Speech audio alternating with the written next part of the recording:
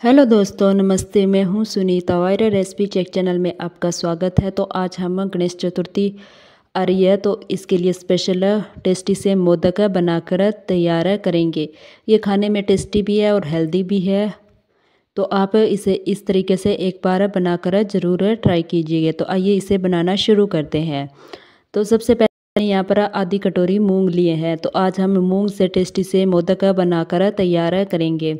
मूंग शरीर के लिए भी अच्छे होते हैं और इनके टेस्टी मोदक बनाएँगे। तो सबसे पहले हम क्या करेंगे कि एक कढ़ाई लेंगे और इसमें हम ने जो मूंग लिए थे आधी कटोरी, उन्हें इसमें डाल देंगे और धीमी आँच पर इन्हें पाँच सात मिनट तक अच्छे से पकाएँगे।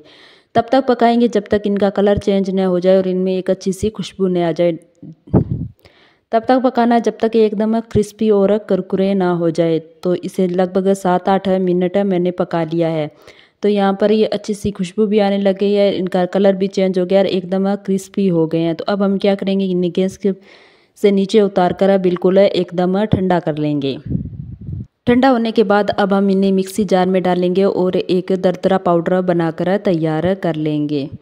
तो यहाँ पर हमने दरदरा पाउडर बनाकर तैयार कर लिया है। बिल्कुल बारीक पाउडर नहीं बनाएँगे दरदरा पाउडर बनाकर तैयार कर लिया है। तो अब हम इसके मोदक बनाएँगे। मोदक बनाने के लिए सबसे पहले हम कढ़ाई में दो चम्मच के करीब घी डालेंगे। ज़्यादा नहीं, सिर्फ़ दो चम्मच के करीब भी घी डालेंगे। बहुत ही कम घी में ये हमारे टेस्टी से मोदक बनकर तैयार हो जाएँगे। तो घी डालने के बाद जो हमने मूंग को पीस कर रखा था, वो डाल देंगे और इसमें कड़छी चलाते हुए इसे सिर्फ़ धीमी आँच पर दो मिनट ही पकाएँगे। क्योंकि मूंग को हमने पहले पका लिया था, इसे सिर्फ़ दो ही मिनट पकाना है। यहाँ पर दो मिनट के बाद ये आटा अच्छे से पक कर तैयार हो गया। अब हम क्या करेंगे? इसको नी, इससे नीचे उतार कर ठंडा कर लेंगे। अब हम वही कढ़ाई लेंगे और इसमें हम थोड़ा सा गुड़ डालेंगे। गुड़ डालने के बाद अब हम इसके अंदर चार चम्मच के करीब पानी डालेंगे। चम्मच से नाप के हम सिर्फ़ चार ही चम्मच इसके अंदर पानी डालेंगे। ज़्यादा पानी नहीं डालना है सिर्फ़ चार चम्मच पानी डालना है और उसके बाद इसे गुड़ पिघलने तक पका लेंगे। गुड़ को थोड़ा सा गर्म होने के बाद इस तरह से हम कड़ची से इसे फोड़ देंगे, जिससे ये जल्दी से पिघल कर तैयार हो जाएगा। पिघलने के बाद हम इसे दो मिनट तक और पकाएँगे। यहाँ पर हमारा गुड़ अच्छी तरह से पिघल कर तैयार हो गया और इसकी ड्रॉप्स इस तरह से गिर रही है तो हमारा गुड़ अच्छी तरह से पक गया। हमने गुड़ घुलने के बाद इसे सिर्फ़ दो ही मिनट पर, दो ही मिनट पकाया था, वो भी धीमी आँच पर। तो अब हमने जो मूंग का आटा भून कर रखा था, उसे हमने एक बाउल में डाल लिया है और अब हम इसमें जो गुड़ की चाशनी है, उसे हम छान कर इसके अंदर डाल देंगे। अगर आपके गुड़ में कोई भी अशुद्धियाँ नहीं है तो आप बिना छाने भी डाल सकते हैं, लेकिन इस तरह का रिस्क आप ना लें। इसे गुड़ को हमेशा छान कर ही डालें। तो सारा गुड़ जो हमने उबाल कर रखा था, गुड़ का शरबत, वो चाशनी, वो इसके अंदर सारा हम इसमें डाल देंगे।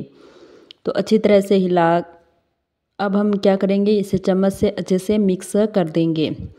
तो मूंग के हमारे टेस्टी से यमी से मोदक बनकर तैयार हो जाएँगे और इसमें चीनी नहीं है, गुड़ है तो ये बहुत ही टेस्टी भी है और हेल्दी भी है। अगर आप कोई चीज़ टेस्टी और हेल्दी बनाना चाहते हैं तो इससे ज़रूर ट्राई कीजिए। तो ये इसे अच्छी तरह से मिक्स करने के बाद अब हम इसे 10 मिनट के लिए ढककर रख देंगे। जिससे क्या होगा कि मूंग का आटा थोड़ा सा फूल जाएगा और इसमें अब थोड़ा सा गुड़ ज़्यादा लग रहा है, लेकिन एकदम सही है। तो इसे 10 मिनट हम ढक्कन लगा कर ढक कर रख देंगे। तो यहाँ पर गुड़ को इसे ढके हुए दस मिनट हो गया है। अब हम चम्मच से अच्छे से मिक्स करेंगे। ये बिल्कुल मोदक बनने के लिए बिल्कुल तैयार है। काफ़ी गाढ़ा भी हो गया है। तो इसे अच्छे से मिक्स करके इसके मोदक बनाएँगे। तो मोदक बनाने के लिए मैं किसी भी सांचे का उपयोग नहीं कर रही हूँ। आपके पास अगर कोई मोदक बनाने के लिए सांचा है तो आप उसे ले सकते हैं। उससे क्या होगा कि बिल्कुल एकदम परफेक्ट बनेगा। लेकिन अगर आप बिना सांचे के बनाना चाहते हैं तो बिना सांचे के भी बना सकते हैं। इस मेरे तरीके से आप बिना सांचे के भी बना सकते हैं। तो थोड़ा सा ये हम आटा लेंगे और इसे गोल गोल घुमाएँगे और इस तरह से इसे बिल्कुल इसी तरह से हम मोदक बना देंगे। और इस पर डिज़ाइन बनाने के लिए आपके पास अगर कांटे वाला चम्मच है तो आप उसका प्रयोग कर सकते हैं। अगर आपके पास वो नहीं है तो आप कोई भी तिल्ली का प्रयोग कर सकते हैं। तो ये देखिए, मोदक बिल्कुल बनकर तैयार हो गया है। तो अब हम इसके ऊपर डिज़ाइन बनाएँगे। तो एकदम परफेक्ट जैसे बाज़ार में मिलते हैं, उसी तरह का मोदक बनकर तैयार हो जाएगा घर पर। तो मैंने यहाँ पर ये फ्रूट वाली तिल्ली ली है और इसे इस तरह से इस तरह से इसके डिज़ाइन बना देंगे। तो ये टेस्टी टेस्टी, यमी यमी हमारे मोदक बनकर तैयार हो जाएँगे। तो इसी तरह से हम सारे मोदक बनाकर तैयार कर लेंगे। थोड़ा सा इसे इस तरह से घुमाएँगे। देखिए, बिल्कुल एकदम परफेक्ट डिज़ाइन बनकर तैयार है। तो अब हम इसे एक प्लेट में रख लेंगे और इसी तरह से सारे मोदक बनाकर तैयार कर लेंगे। यहाँ पर हमारे सारे टेस्टी यमी यमी मोदक बनकर तैयार हो गए। अब हम इसे गुलाब की पत्तियों से सजा देंगे। तो ये रेसिपी आपको कैसी लगी मुझे कमेंट करके ज़रूर बताएँ। अगर आपको मेरी रेसिपी पसंद आ रही है तो मेरे चैनल को लाइक शेयर और सब्सक्राइब करना ना भूलें।